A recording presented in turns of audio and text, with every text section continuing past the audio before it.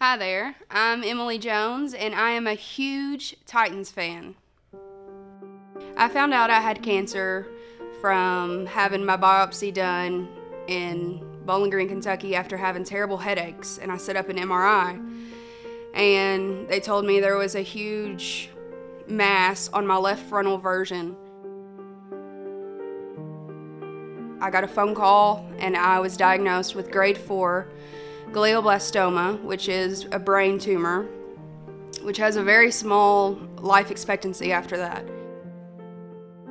I was given 12 to 15 months, and on the 9th here in October will be year four for me.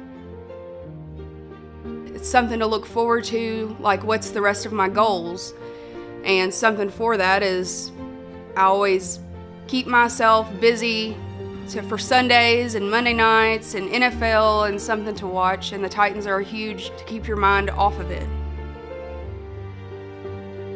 So the reason I'm here is because of two girls. They're crazy fans, and I've became really close with them.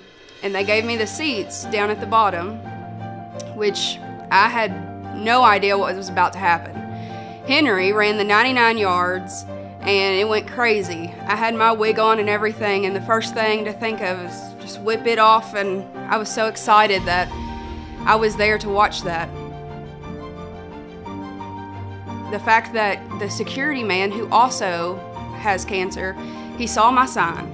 He came, he gave me his little card, and he said to get a hold of him. And since then, I've known so many Titans faculty and staff that have helped me so much just to be a part of the Titans.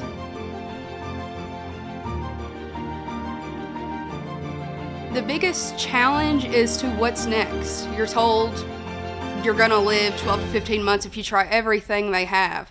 Then what's next?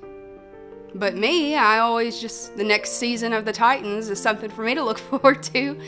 And you don't just give yourself what they tell you of your life expectancy.